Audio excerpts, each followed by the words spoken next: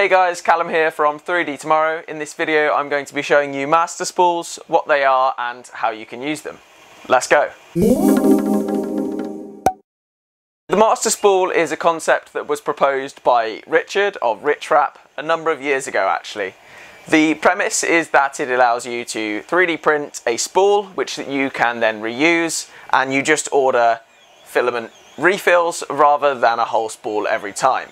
So rather than using black plastic spools or cardboard spools as you're probably used to, you instead 3D print your own top and bottom and then screw it together with a refill in the middle. Master spools were put forward for a number of benefits. Firstly, they're a lot more environmentally friendly because you just use one spool and reusing is always the best. Uh, secondly, you should be able to save some money because you're not having to pay for the spool every time and you've also got a lighter package for shipping. So shipping costs should be slightly cheaper as well. Now I'm going to show you how to set up a master spool. For this you will of course need to purchase a filament refill. Uh, I've got here the 3D Tomorrow master spool PLA, but the process will be very similar wherever you get your refills from in our 3D Tomorrow refill. It comes in a slightly bigger box because that means that the uh, master spool still fits in even once you've printed it. You'll get a, a refill like this, vacuum sealed with uh, silica gel. It also has reusable spool ties and you'll see why that's uh, useful in a minute. And it also comes with a label that you can stick on the spool just so you know what it is you're getting. I'm going to set this one up with one that I've already opened. So I've got here Smooth Amethyst. You will also need to have printed off a master spool itself and I've added the link where you can download this one in the description. There are loads of different varieties out there, so choose one that takes your fancy. First step is take the refill and arrange the cable ties so that they point upwards you can then take the base of the spool with the cable ties pointing towards it and align the two so that the cable ties go down the grooves in the master spool. Like so. Step two, and this is an important step, you'll need to locate the end of the filament.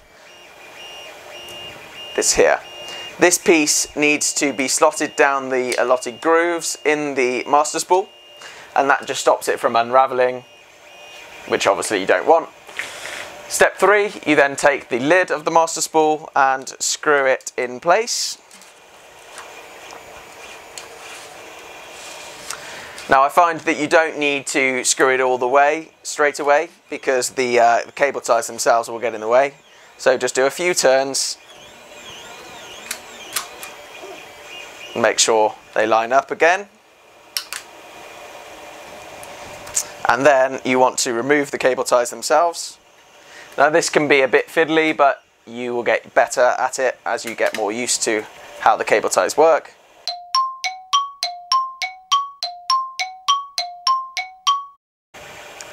And then you can just tighten the master spool up a few more turns now that the cable ties are off.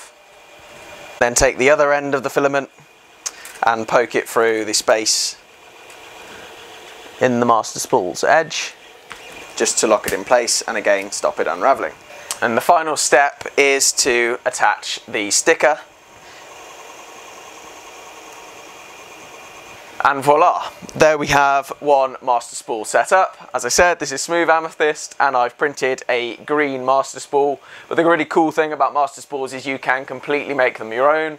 Say your company's color scheme is, I don't know, red and blue. You could do a red base, blue top and make it look your own. Or you could even use up lots of different colors like this one uh, and make it even more environmentally friendly by using up leftovers. As I mentioned at the start, 3D Tomorrow's refills ship with reusable cable ties, so you can actually take the refills back off and you make use of just one master spool, swap and change around as you need. I'm going to show you how you can take it back off now. Turn it face down and align the cable ties so that they wrap around the outside and have the excess material poking up like so.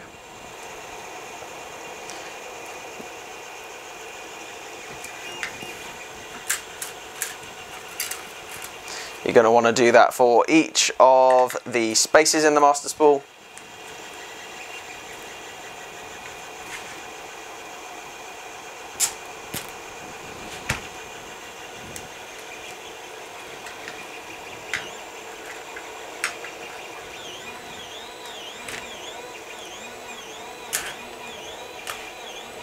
Like so. You can then begin to loosen the top lid.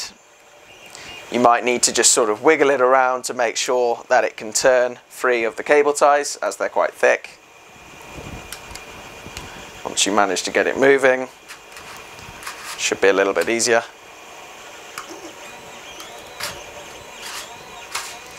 There we go. Remove the lid. Master spool falls back off and there you are left with a refill again.